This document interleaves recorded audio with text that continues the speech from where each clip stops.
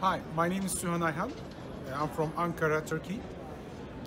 Last year I was invited for the first Ukrainian breast meeting and it was a great experience, great meeting, great friends, great hospitality and I, I, I bet that next meeting is gonna be much better.